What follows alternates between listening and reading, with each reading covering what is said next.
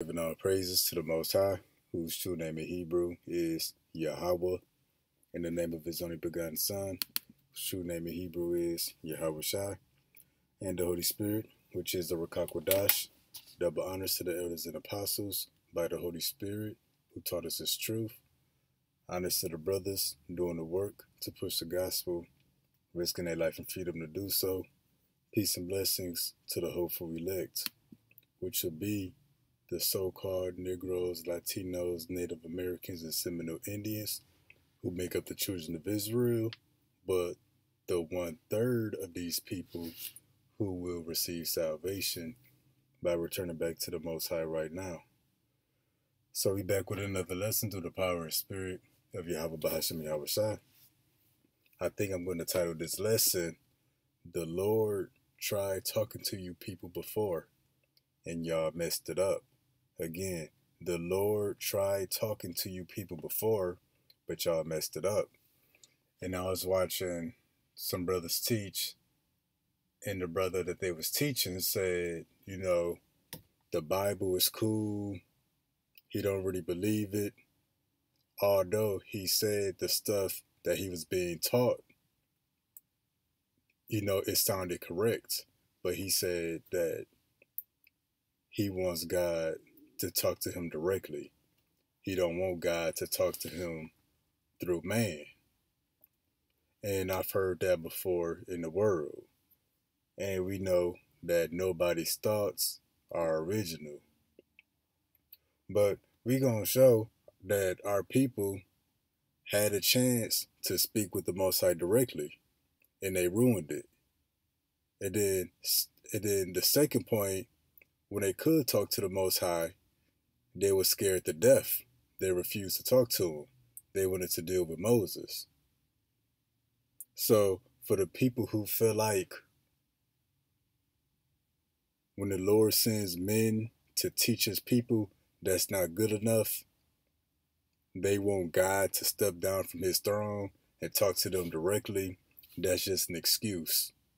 That's just an excuse to continue not believing and an excuse to continue in their wickedness. Because that's probably the last thing you want is for the Most High to come see you face to face. Because what they think, like the Lord gonna knock on their door with an all white robe, he fresh out the shower, smelling good, got a crown on him. But let me talk to you for a minute, brother. It's gonna be nothing like that if the Lord actually came to talk to you. But also too, um, who are you for the Lord to step down from his throne? What makes you so important that the Lord needs to come see you face to face? And not to mention, I'm sure there's millions and billions of people who wish they could talk to the Most High face to face to, to get whatever questions answered that they may have. The thing is, the Lord don't got time for y'all. Y'all wasted his time plenty of times in the past. It is not that he don't got time, it's that he's not going to make time for y'all because he's not about to waste his time anymore. So he sent his men, the servants, the prophets, to speak for him. And we going to get into that. But let's start off with Exodus 20 and 18. At this point, this is when the children of Israel received the Ten Commandments. We're going to start right in the middle. And all the people, the people of Israel, saw the thunderings and the lightnings and the noise of the trumpet and the mountain smoking. And when the people saw it, they removed and stood afar off. So they saw the presence of the Lord, but they stood back. And they said unto Moses, Speak thou with us, and we will hear. But let not God speak with us, lest we die.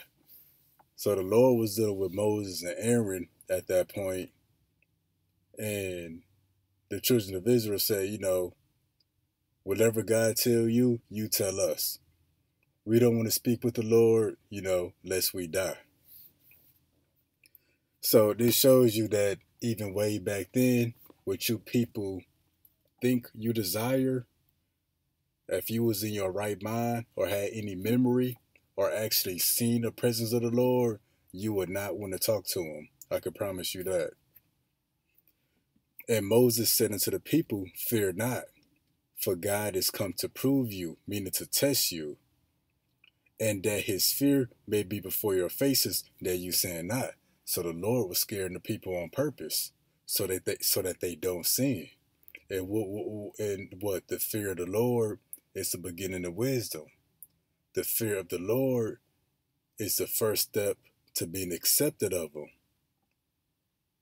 So yeah, it's the fear of the Lord, which is the strongest motivator not to sin. So the Lord scared the crap out the people.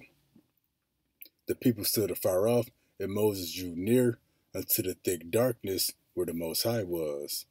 And the Lord said unto Moses, Thus thou show say unto the children of Israel, You have seen that I have talks with you from heaven, from that chariot.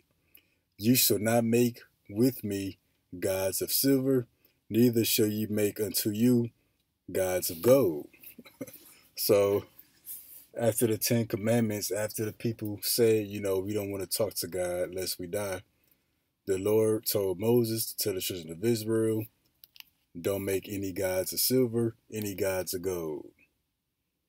And guess what the people did when you forward to Exodus 32, starting at verse 1.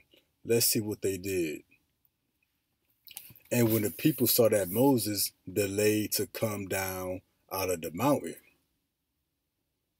this is Mount Sinai. And the people gathered together to themselves Aaron and said unto him, Up, make us gods. Right after the Lord told them, They shall not make gods of, God, of gold and silver. All right, said unto Aaron, Up, make us gods, which shall go before us. For as for this Moses, the man that brought us up out of the land of Egypt, we wot not what is become of him. So they say, you know, we don't know what happened to Moses. He been up in that mountain for a long time. And the Most High was dealing with him, which is why he was up in the mountain. But what? Right after the Lord told them, don't make gods of gold and silver, they get Aaron and forced him to do what? To make them a golden calf, a god of gold. Right after the Lord told them not to. So even if the Lord did talk to you people, and, and gave y'all some advice or answered your questions or told you what you need to do, you people gonna do the opposite anyway. Because y'all don't really mean that that you want the Lord to come talk to you uh, directly so so you can straighten yourself out. No, that's just an excuse. That's a bluff. So when we go, we're going to continue down to verse 12. And Aaron said unto them, Break off the golden earrings which are in your ears of your wives, of your sons, and of your daughters, and bring them unto me. And all the people break off the golden earrings which were in their ears, and brought them unto Aaron. And he received them at their hand, and fashioned it with a graving tool, after he had made it a molten calf. And they said, These be thy gods, O Israel, which brought thee up out of the land of Egypt. And when Aaron saw it, he put an altar before it, and Aaron made complimation and said, Tomorrow is the feast to the Lord, that golden calf. And they rose up early on the morrow, burnt offerings, burnt peace offerings, and the people sat down, eat, and to drink, and rose up to play. So the people just playing. And the Lord said unto Moses, Go get thee down, for thy people, which thou broughtest out of the land of Egypt, have corrupted themselves. They have turned aside quickly out of the commandment, out of the way which I commanded them. They have made them a molten calf and have worshipped it, and have sacrificed thereunto, and said, These be thy gods. O Israel, which have brought thee up out the land of Egypt. And the Lord said unto Moses, I have seen this people, and behold, it is a stiff necked people. So, yeah, it's a stiff necked people because the Lord appeared to them in thundering lightning, trumpet sounding, clouds, smoke, fire, to what? To put the fear of the Lord on them that they sin not. And the Lord commanded them to not make any gods of silver or gold. Even after seeing and experiencing the fear of the Lord, and even after receiving the commandments and the commandment not to make any gods of gold and silver, they did just that. That's why the Lord said, I have seen this people, and behold, it is a stiff necked people. So they act like just 12 chapters ago, like they weren't scared to death. But look what they did anyway. So that shows you the rebellions of our people It's really nothing you can do to straighten them out. The rebellions of our people, they not straightening out now that the that the that the truth is on display. And even if the Lord came from his throne to the earth to speak to the people directly, they still wouldn't straighten out. They didn't straighten out back then. Now let's get this. So I have seen this people, and behold, it is a stiff necked people. The Lord goes on to say, Now therefore let me alone, that my wrath may wax hot against them, and that I may consume them, that I will make of thee a great nation. Now I'm going to read this in the NLT on my phone. So the Lord said, Now leave me alone, so my fierce anger can blaze against them. So the Lord told Moses, Hey, leave me alone, stand back, and watch what I do to the people. But then the Lord told told Moses, you know, of you I will make a great nation. But see, at this point, Moses had to step in for the rebellions of the people. And Moses besought the Lord his God and said, Lord, why doth thy wrath wax hot against thy people, which thou hast brought forth out the land of Egypt with great power and with a mighty hand? Wherefore should the Egyptians speak and say, For mischief did he bring them out to slay them in the mountains and to consume them from the face of the earth? Turn from thy fierce wrath and repent of this evil against thy people. Remember Abraham, Isaac, and Israel, thy servants, to whom thou swearest by thy own self, and said unto them, I will multiply your seed as the stars of heaven, and all of this land that I have spoken of will I give unto your seed, that they shall inherit forever. And the Lord repented of the evil which he thought to do unto his people. So Moses pretty much told the Lord, um, if you kill the people, the other nations gonna say, yeah, the Lord brung them out just to kill them. You know, it was no benefit to the people. And Moses also told the Lord, you know, remember the covenant that you made with our forefathers.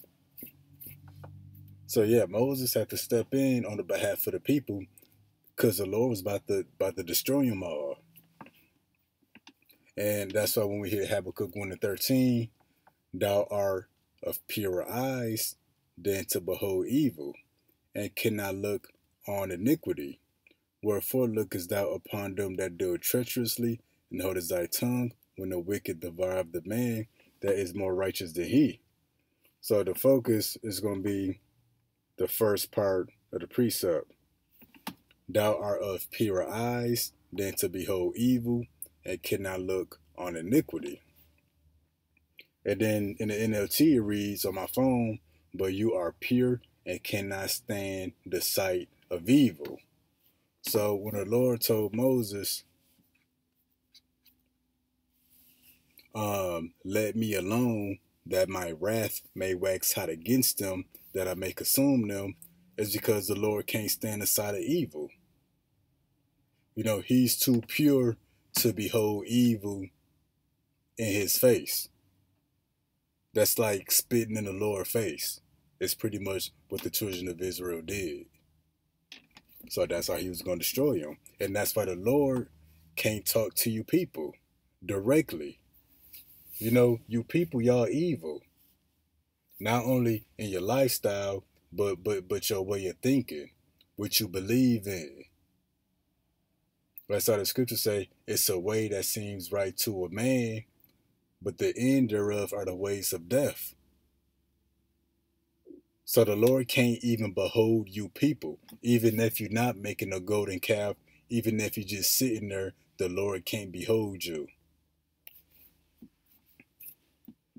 And not in the state that our people in right now.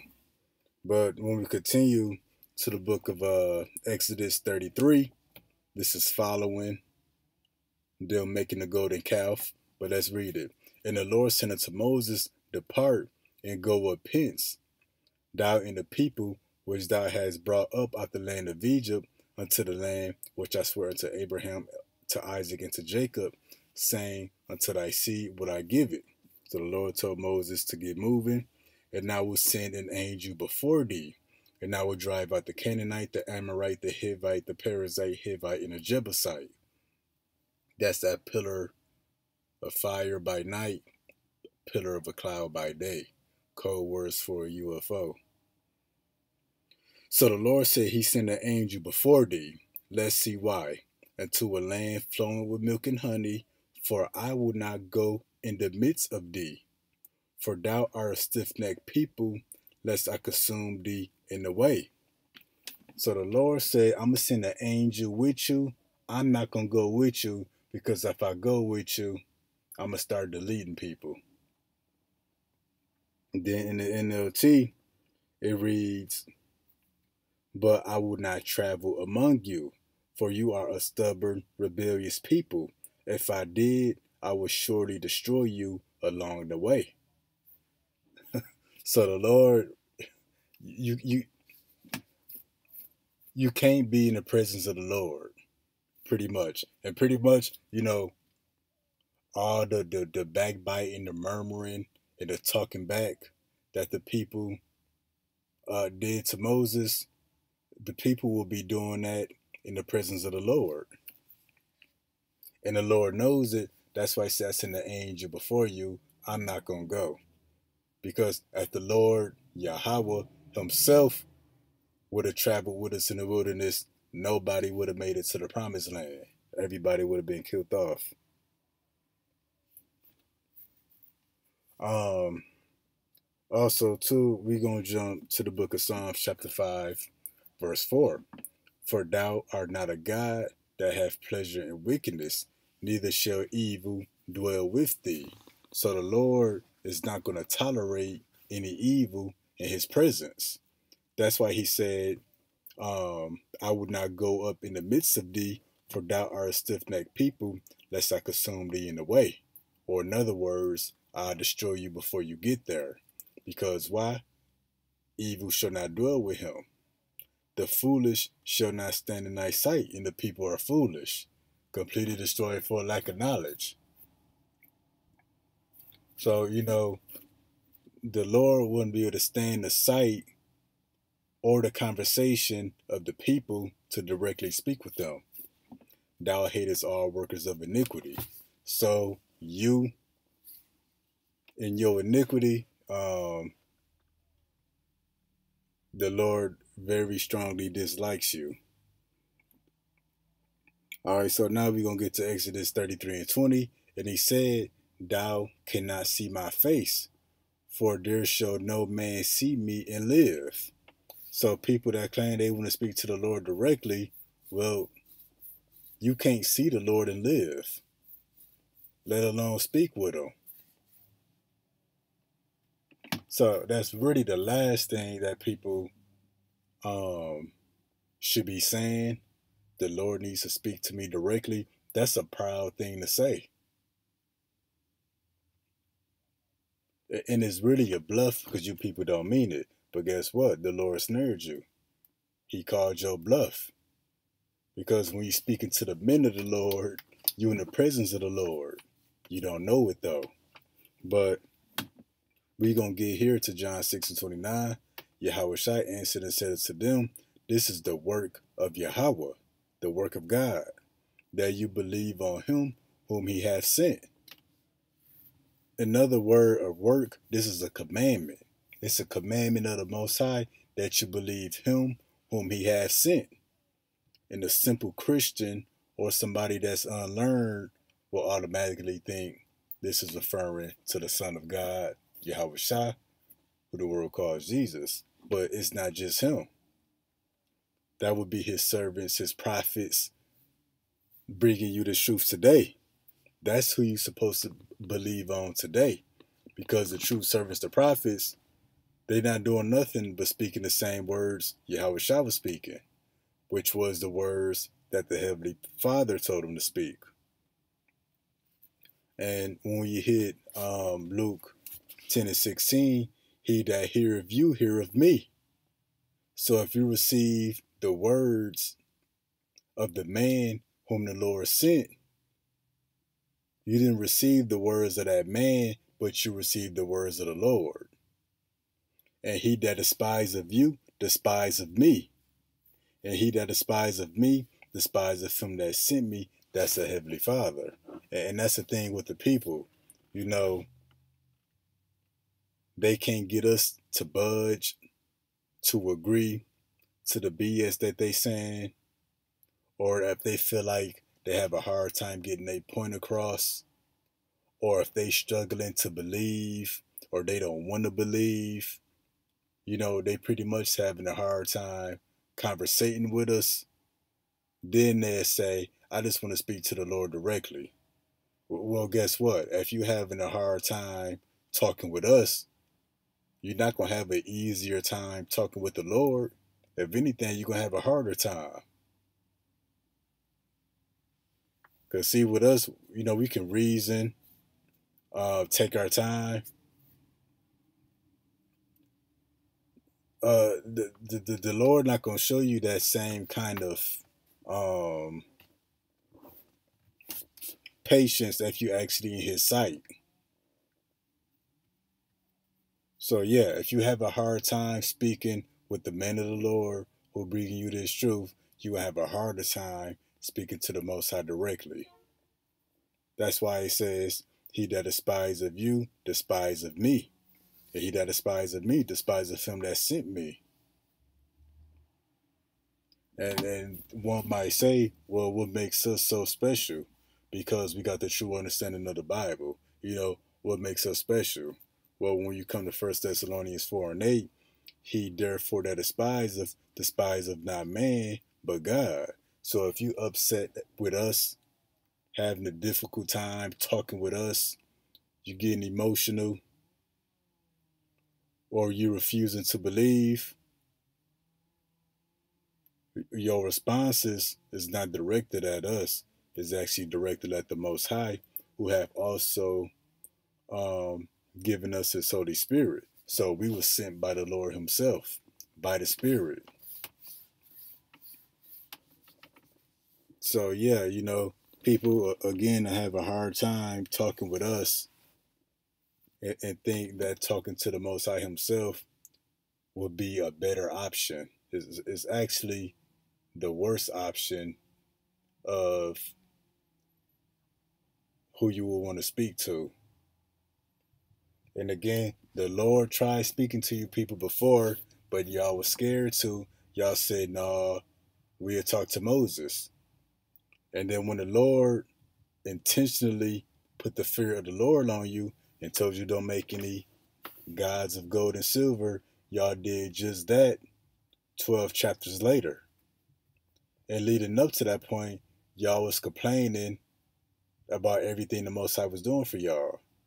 So, no, you can want to speak to the Lord, but the Lord don't want to speak to you. That's why he sent his men here in the last days. That's why the scriptures say he has sent forth his apostles last. And the apostles is not just talking about in the New Testament. Because when you look up that word apostles, Similar words will be prophets or preachers. And the Lord will send prophets and preachers last, meaning in the last days. The Lord not going to get up off his throne where he comfortable at. He's not going to make time, you know, for the rebellions of our people. So Yeah, the Lord tried to talk to y'all before and y'all messed it up. Uh, Lord willing, that was edifying. Till next time, Shalom.